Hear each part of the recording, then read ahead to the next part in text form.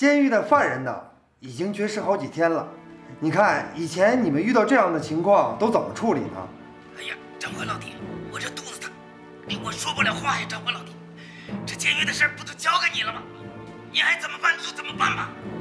喂，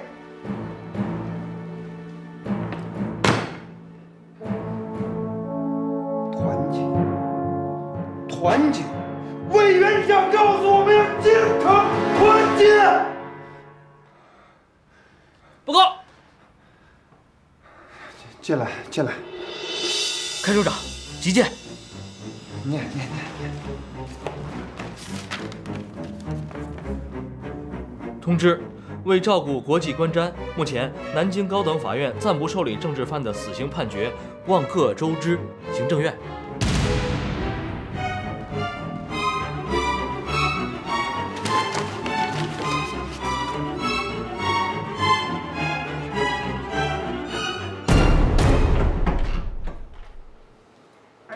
哥几个，听说你们又绝食了，我呀做点稀饭，哥几个都暖暖胃。赵长官，这我特意孝敬大家伙的。杨疯子，我告诉你，绝食是我们自己情愿的，用不着你在这可怜我们。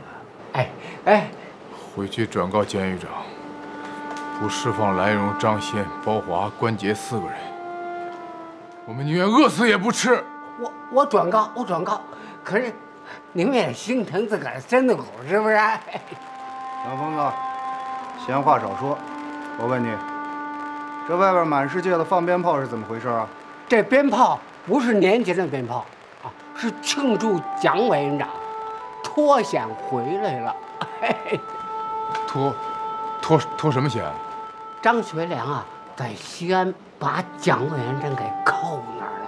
后来经过谈判，哎，总算把他给放回来了。上面呢，哎，让老百姓家家户户放鞭炮庆祝。呸！啊，杨疯子，啊哎，滚！啊，滚出去！不是这你谁稀罕你的猪？滚！我是疯子，我看是，你才疯子！我是疯子，我是疯子，可我良心向着你们。你有什么良心？你就是狗心！得了，哎，杨疯子，杨疯子！小莲，不要夹他了，他至少也算是透露了一些新情况吧。我看这脓包双面派，我就满肚子气。两面派总比一面派要强。我看这个人倒是有些可取的地方。张学良到底还张学良？为什么抓蒋介石还要放了他呢？军阀嘛，又不是无产阶级。放鞭炮，我以为是吉星高照呢，弄半天是扫帚星当道呀！老天爷呀，你不睁眼呀？你怎么就让这个老混蛋他跑了呢？南友们啊，莫发脾气。我觉得这有可能是件好事儿。你们可能刚才没在意，我赵天明成了赵长官了。所以说，杨疯子的态度就好比是一只晴雨表，看他就能够估算出外面的形势来。对啊，现在形势一定有很大的变化，我们要想办法搞到一些情报才行。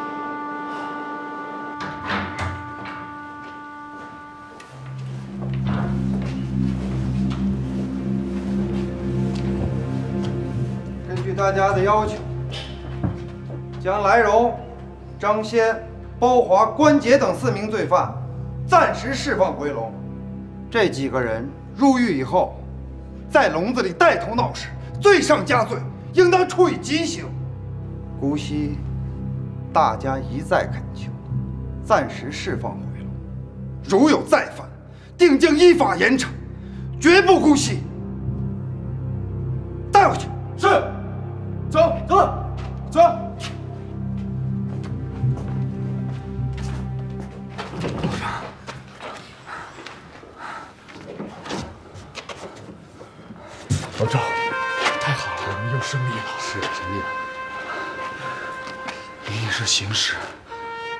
发生了变化。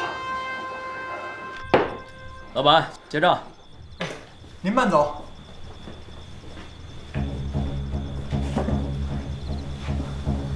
上级有什么新指示吗？西安事变之后，敌人实行严格的舆论控制，在报纸上根本看不见西安事变的真相，只是“共军赤匪”这类字眼在逐渐减少，“陕北赤区”这类字眼几乎绝迹，给人感觉他们态度很晦涩。实际上，敌人除对陕北根据地只围不打之外，对其他地方，尤其是我党留在南方游击区内的红军，依旧采取赶尽杀绝的措施。所以，还要加倍小心。嗯，我尽量注意就是了。工作有进展？找到被捕政治犯的详细档案实在是太难了。我能不能跟狱中的同志直接联系呢？比如跟赵天明同志，通过他们的帮助一起来完成工作。不妥。我认为跟狱中同志联系绝不是件简单的事情，很可能是一柄双刃剑。这西安事变是个啥意思啊？就是就是啊，怎么觉得没什么意思啊？西安事变摸不清楚，况且我们在狱中，也没法跟外面取得联系，静观其变吧。嗯，倒也是。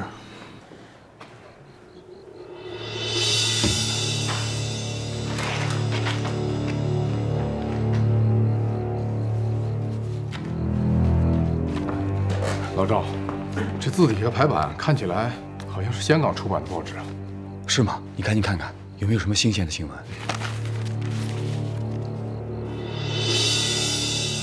本报讯：据此间政界人士透露，此番蒋介石是能于西安讨险，实属于中共斡旋之功。据可靠消息，蒋氏答允联合中共抗日。给予中共以及合法地位等若干条款，唯据此一不愿透露姓名之人士称，蒋氏多绝诈，尚需静待时局之演变。云云。什么名堂？形势要大变了，我们总算要熬出头了。天就要亮了。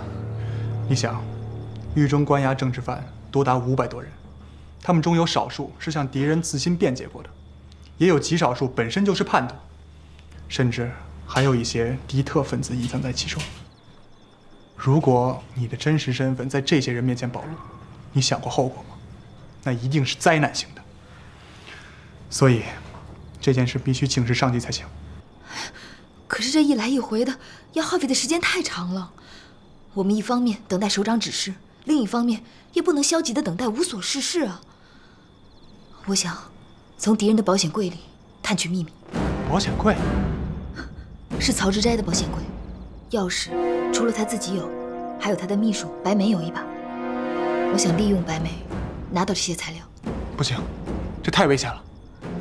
冒险是有的，可如果错失得法，希望是有的，值得一试。我想想。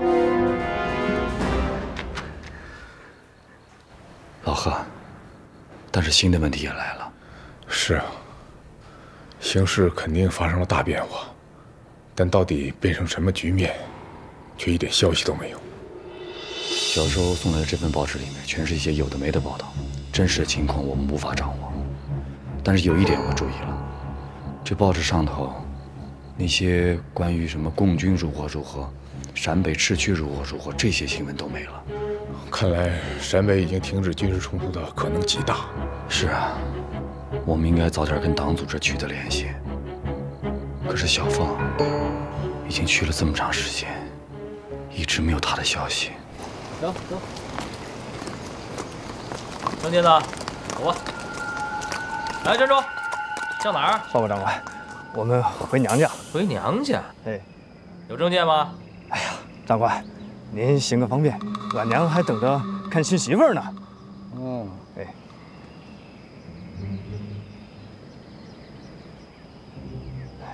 这山里可有土匪，自己当心点啊！走吧走吧？哎，谢长官，谢长官。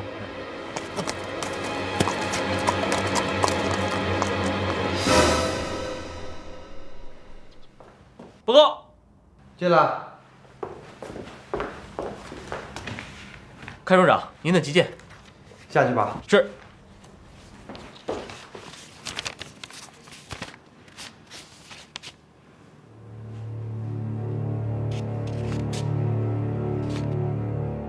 凡我处各干部同志，务必加紧活动，应与双十二协定所列各项条款尚未最后实施之前，剔除一切不本分子。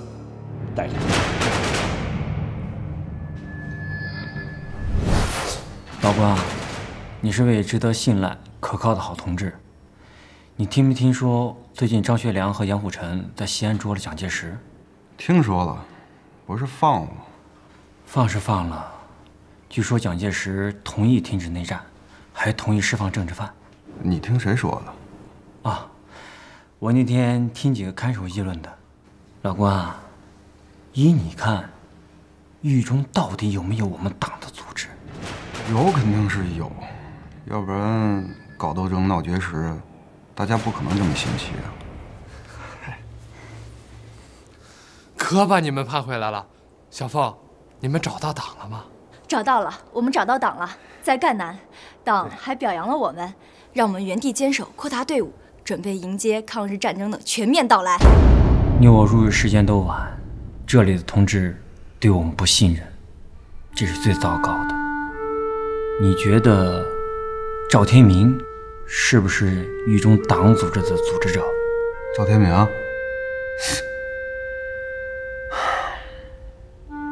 他是叛徒，叛徒，周群同志的血不能白流。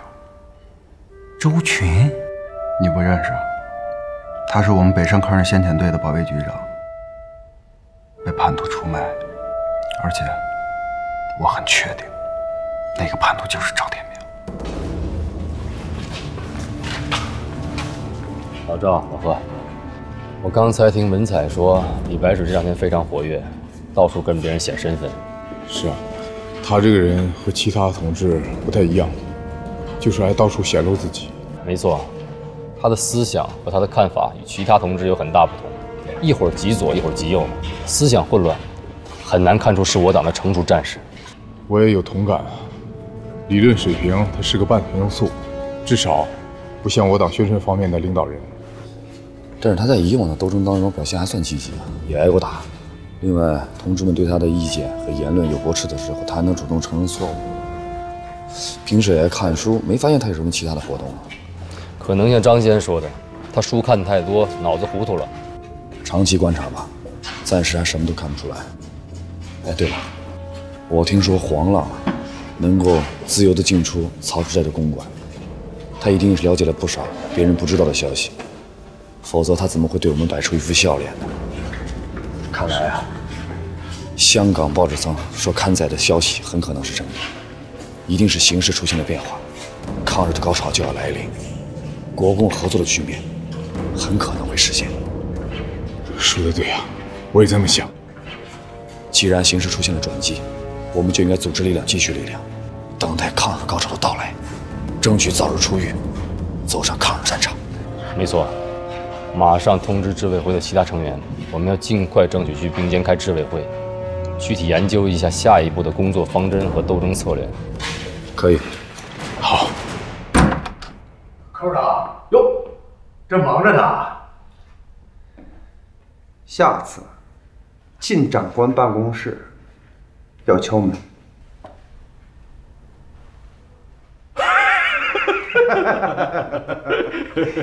有事儿啊？有件事我向你汇报一下，新自监二号笼子有几个囚犯病了。你看怎么办？你看我像医生吗？不像。犯人有病，就去看医生。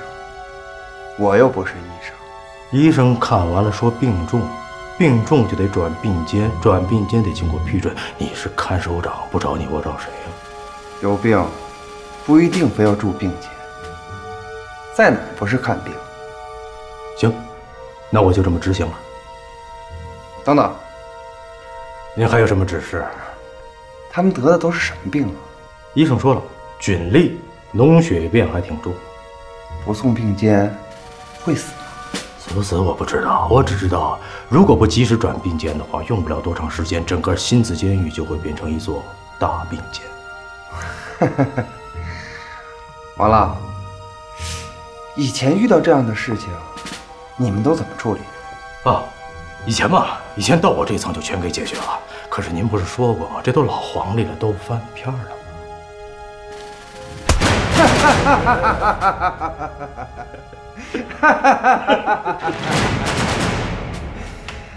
哎呀，关于病人转病间，你们看情况而定。这可是你说的，这事儿就这么定了。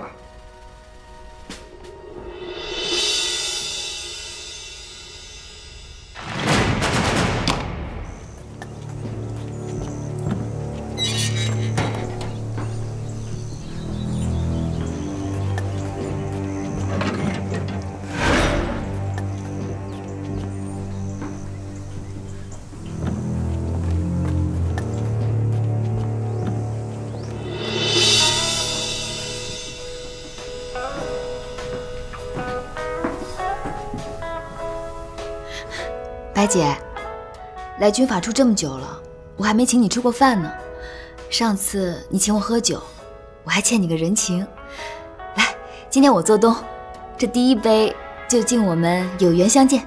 好，敬缘分。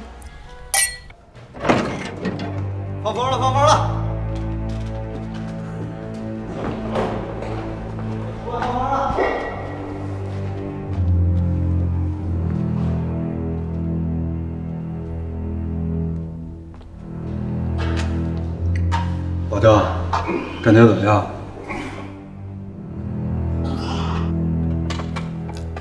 老赵，我做过自己人的牢房，又蹲过敌人的监狱。从莫角桥监狱一放出来，我就被分在你的担架总队里了。今天也没外人，咱们俩说句碰心的话，我官爵这个人怎么样？革命性坚定，值不值得信任？我信任。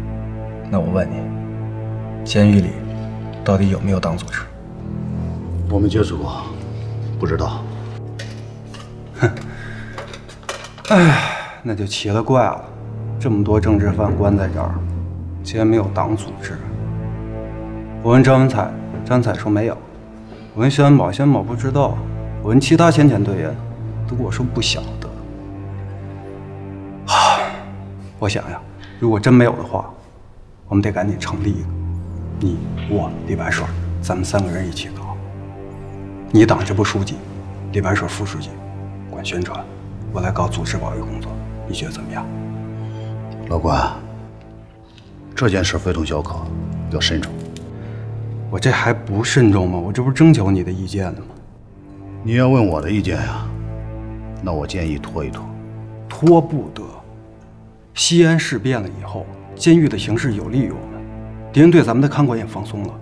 我觉得咱们应该不失时机，赶紧成立党组织，然后在组织的领导下，暴动越狱。暴动越狱？你不觉得存在这个可能性和条件吗？这件事你跟李白水说过没有？说过了呀。但是呢，他不太赞成我们自己成立，这个人比较保守，他想找现成的。所以我就想，只要你同意，咱们俩是二比一多数派。我还是那句话，敌人耍什么阴谋，咱们并不清楚。最好不要搞大动作。老张，你胆儿呢？叫敌人吓破了。说什么话呢？慎重，就是被敌人吓破胆儿了。老赵，你的病怎么样了？还是肚子痛，肝痛。我这有些药，你先吃了，应该会好一些。记住，自己控制剂量，别吃多了。好，谢谢你，周看守。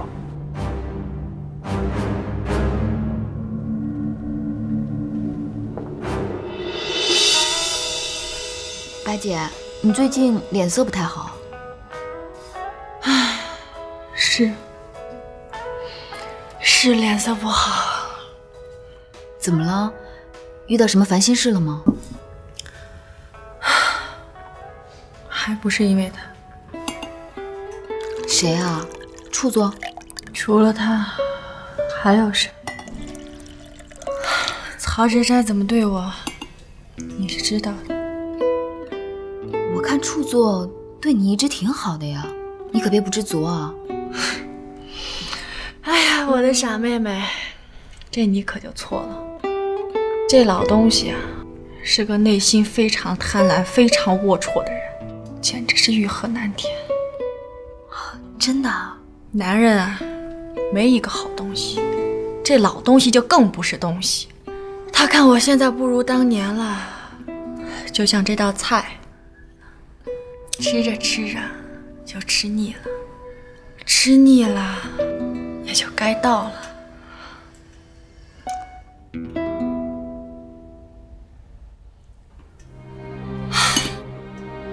这种男人，啊，也是我活该，自作自受。不过梅兰，你可千万别学我走我的老路子，这条路走不到头的。白姐，今天咱们不说不开心的事了，来喝酒，一醉解千愁。一醉解千愁。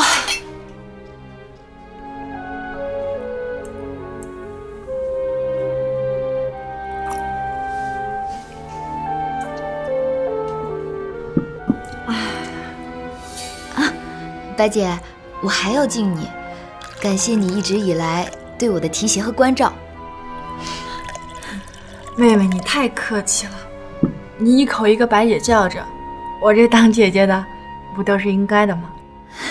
来，干杯！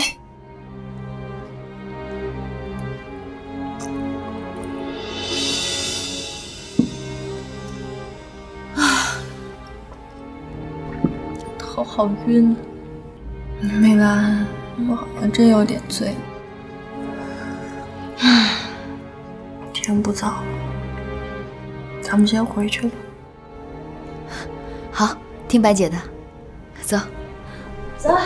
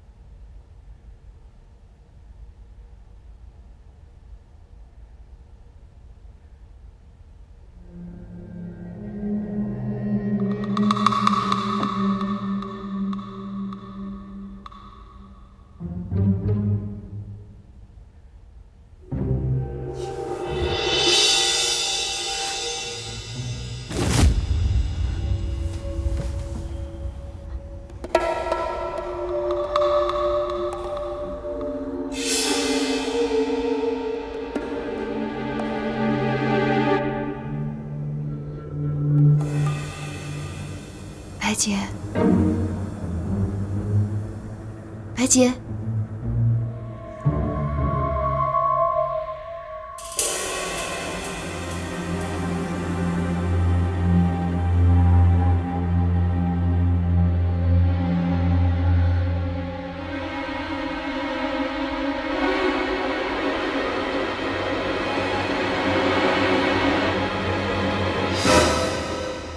老张提出这个问题非常严峻。如果关杰和李白水两个人在我们之外搞起了另一个组织，不仅会扰乱我们的工作，还会使奈我们思想混乱。所以，无论从思想上还是从组织上，都是非常危险的。我们一定要制止他们。现在关键是李白水这个人，他到现在面目还看不清楚，既肯定不了，也否定不了。他接见亲属的次数很多，但是每次回来都有新的花样。当然，我们可以理解为是南昌市委给了他新的消息。可是我们怎么能确定探视他的人一定就是南昌市委地下党呢？我也有这个疑问。如果他一直跟南昌市委领导接触，那么他呢该有所作为。可是除了见他逢人就找党以外，再没见过任何有所作为的举动。不过，在绝食斗争中，李白水表现的也很勇敢，这些都是我们有目共睹的。我对他一直是持有怀疑态度。你、来荣还有包华他们，都是打的皮开肉绽的。我们给你们上药水、抹麻油，大家都是看得到的。可是你们有谁看见李白水的伤口？他说了，他的伤轻，不舍得跟我们抢麻油。反正我就是有这个疑问。是啊，疑问是疑问，重要的是我们没有证据指证，而问题就在这儿。我们又不想冤枉每一个同志，因此我们无法对关杰说出李白水的种种疑点。而我们一旦接近关杰的话，让关杰感受到我们这个组织的存在，那他一定就会告诉李白水。如果李白水是我们自己的同志，那倒没什么。但假如他就不是呢？他就是敌人安插进来的奸细呢？这后果可就不堪设想了。还有一点，如果不把实情告诉关杰，那么他就有可能在外面拉组织，那对我们也是一种危害。行吧，这个议题就进行到这儿吧。老赵，关杰和李白水的问题还没讨论出一个结果来呀！不要再说了。关杰和李白水的事儿，明天回到陇造我来对付吧。我一定会给大家一个满意的答复。进行下一个议题吧，校长。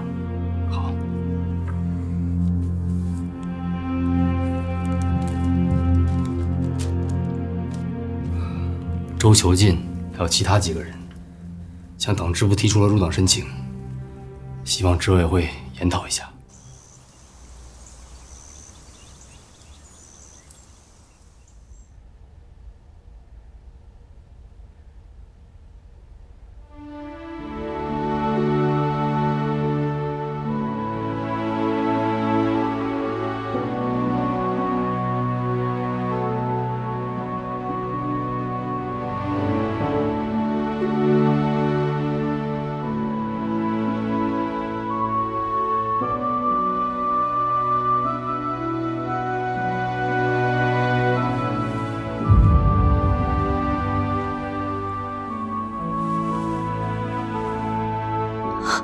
白姐，你醒了。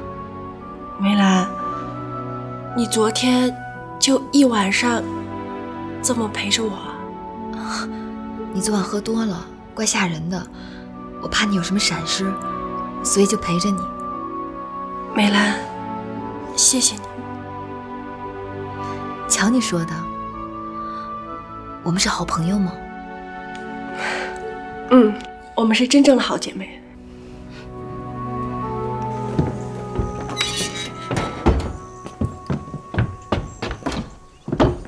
把他送到那边就行了。是。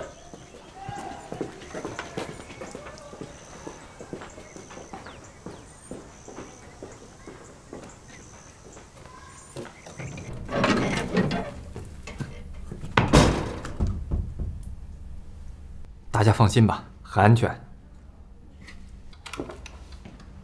老赵，你怎么样？他拔豆吃多了，到早上还止不住呢。哎呀，我不是跟你说让你少吃点吗？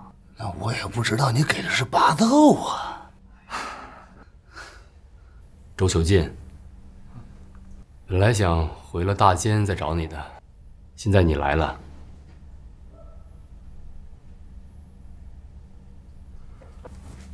我代表党组织通知你，你的入党申请被批准了。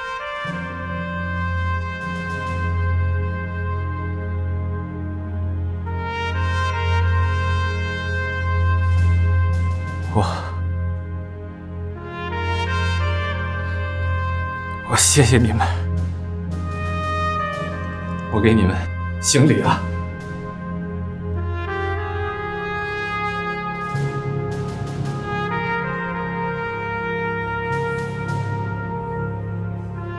周求进同志，你看这是什么？是党旗，是党旗。这面旗帜上有斧头和镰刀，代表着工人、农民及一切劳苦大众。这面旗帜是红色的，象征着烈士的鲜血。周囚禁同志，你一旦入了党，就要为工人、农民及一切劳苦大众实现追求自由的梦想，不惜牺牲自己的生命。你能做到吗？我能做到。请你面对党旗，宣誓吧。我宣誓。小姐您好，您请坐。我就不坐了。上次让你买的云雾茶买到了吗？买好了，买好了。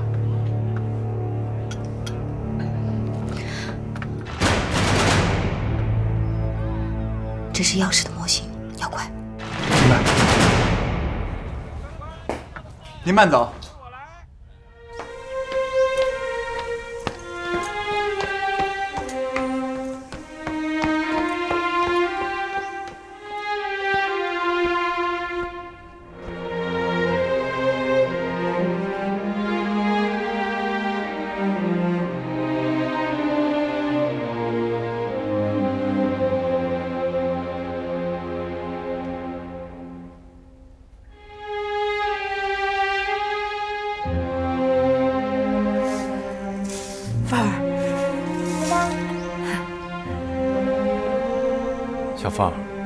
你走之前，咱们一家人一起照张相吧。凤儿，拍一张吧。你这一走，也不知道什么时候能回来。到时候姑妈想你，也可以看看照片。姑妈说照，咱们就照吧。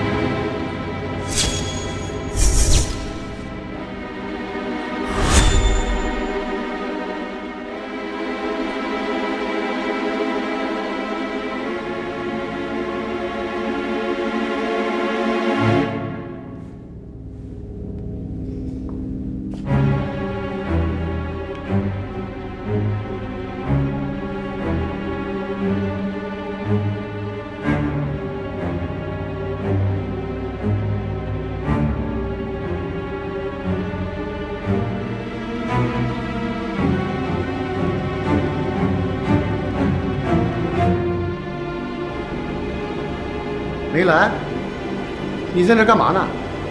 帮你擦下保险柜，保险柜有什么可擦的？太脏了。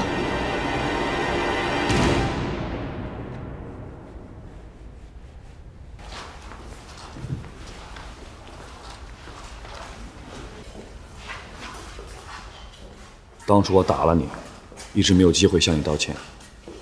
我今天正式向你道歉。不行，用不着你稀罕。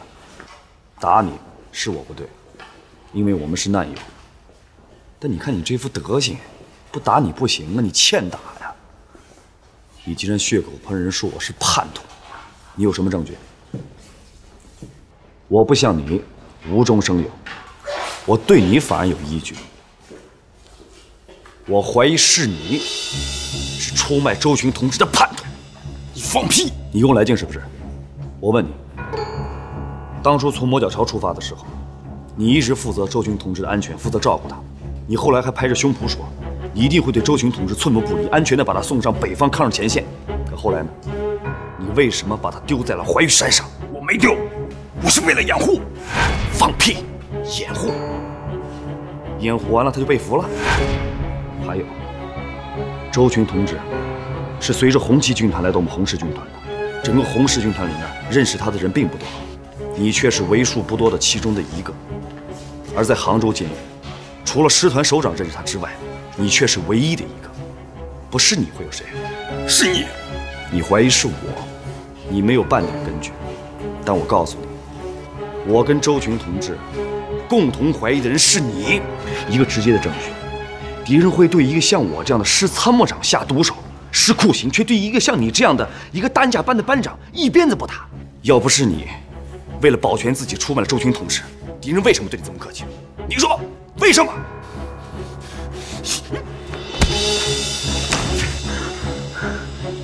一比一平了，今天的道歉到此为止。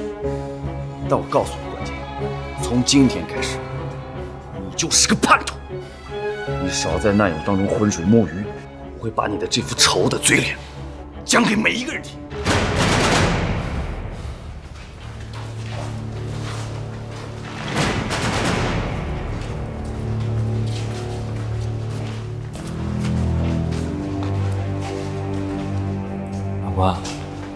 赵建兵对你说什么了？老关，滚！滚！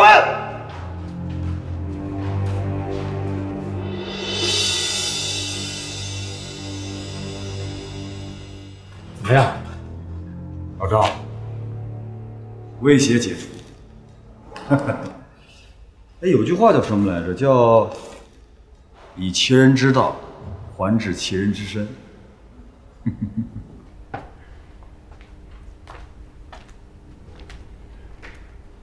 老关，城里组织的事儿进展的怎么样了？我没本事搞，要搞你自己搞。老关，我们共产党员要有知难而进的精神。没资格，没威信，明白了吗？少来烦我！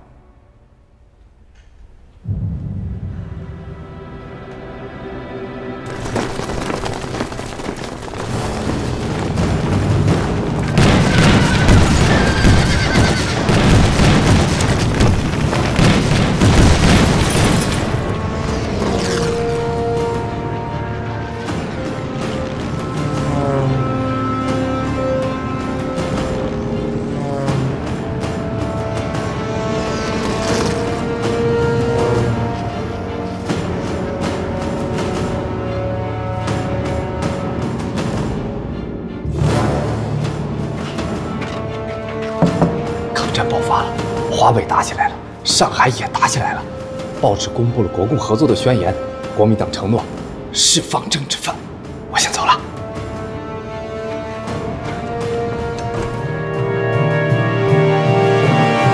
副总，这日本飞机越来越频繁的出现了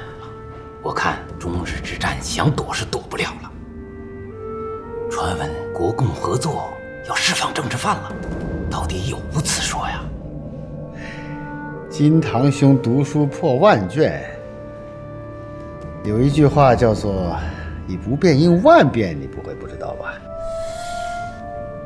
这么说，是真的啦。上峰发下来的总裁的剿共手本，金堂兄没有复读吗？那是当然，读你，读你。最近国防部、行政院要举行一个联席会议，让我们去准备会议的材料。你说的这些问题，我拿到南京会议上就不问自明了。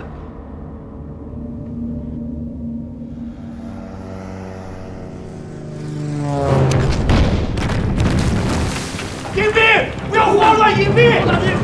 隐蔽，把墙角隐蔽！老贺，听我说，如果炸了监狱，我们要想办法冲出去，回到甘东北苏区，然后和党取得联系。好，好。走了，强子，走了，快点，快，快放我出去！放我们快！放我出去！放我出去！放我出去！放我出去！放我出去！放我们出去！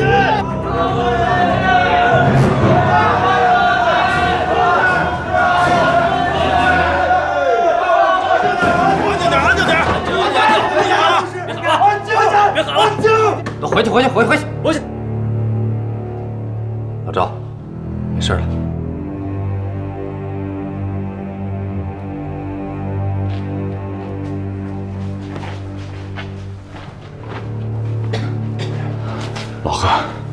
现在当务之急是要和域外的党组织取得联系，好了解一下现在变化了的形势，及时调整我们域内斗争的策略，可以做到域内域外遥相呼应，互为配合。